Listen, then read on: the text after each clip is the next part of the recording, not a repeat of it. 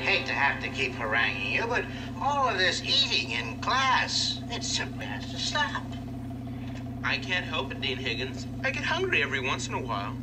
Every once in a while. Do you realize that I have reports from your first, your third, your fourth, and your seventh classes? They are all complaining about your eating. Really?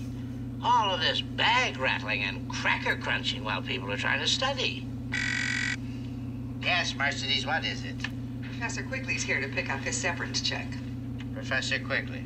Well, you inform Professor Quigley that we don't give out severance checks anymore. But we always give out severance checks. But we don't anymore. We just ran out of money.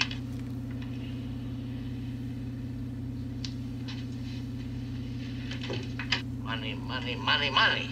All some people think about money. What do you want? Uh, where was I? You were talking about my bag rattling and cracker crunching? Oh, yes, and that is not to happen.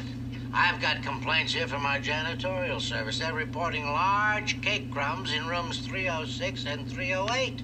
Now, this is very serious business, Elmer. I, teachers I can get, students I can get, but janitors, oh.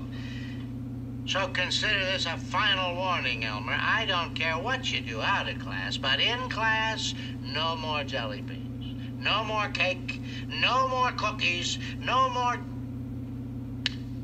Elmer? Elmer, am I getting through to you?